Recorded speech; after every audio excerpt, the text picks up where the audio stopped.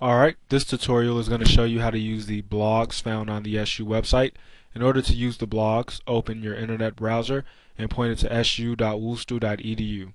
Once you've done that, find the login section and log in with your provided username and password.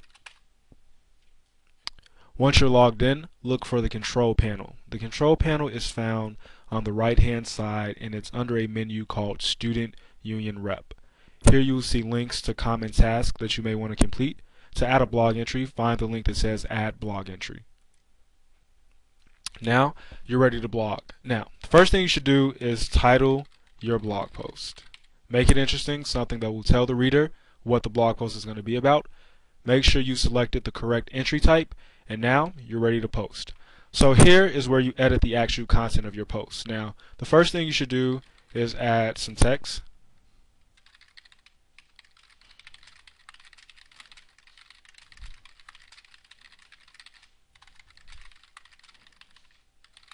Alright, I'm sure your blog post will be more exciting, but once you've added text and you've got a pretty good idea of how you want it to look, then you can add a picture. Now, you're encouraged to always add a photo to your blog post because this makes it look more interesting when it's added to the site.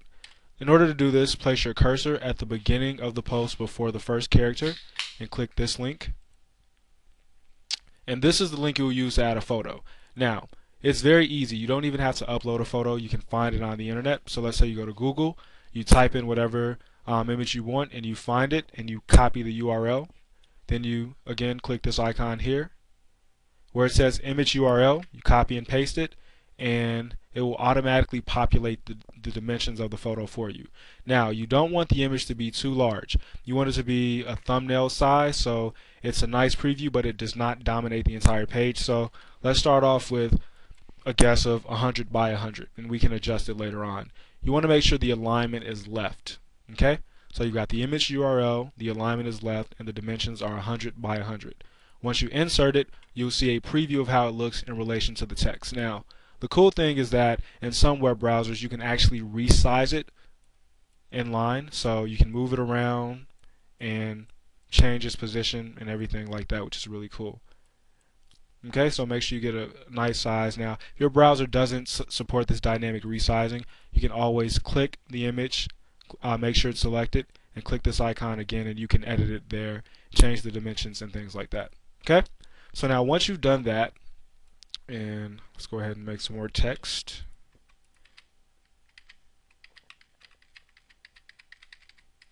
Okay, so we've got our blog post.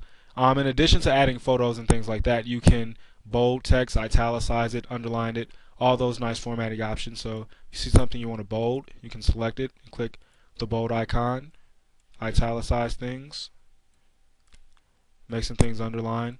Now, of course, you're encouraged to use discretion when doing this. Um, don't go crazy, but make sure if you're trying to add emphasis for something, you can utilize these options. If you want to create a bulleted list, you can do so can also add a numbered list.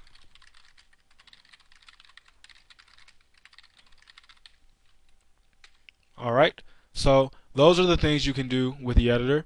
Now if you're advanced and you want to actually go in and edit the HTML, you can click this button right here. And a window comes up where you can actually edit the HTML source.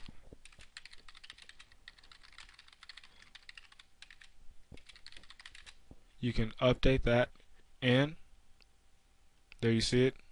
It appears right there in line. Okay? But of course, that's something you're encouraged to use if and only if you are an advanced user. Now, once you do that, you should add tags to your blog posts. The tags should all be comma separated and should be lowercase. And the tags are just words that give a brief idea what the post is about.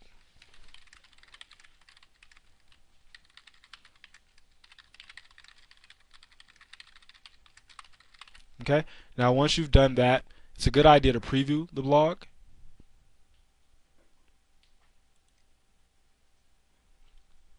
Get a preview of how it's going to look.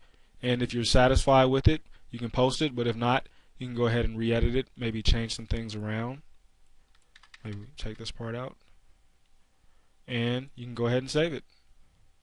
And then your blog post is saved. And people can go and take a look at it and it's there. And if you ever wanted to edit it, you can go edit the post again. But there you go.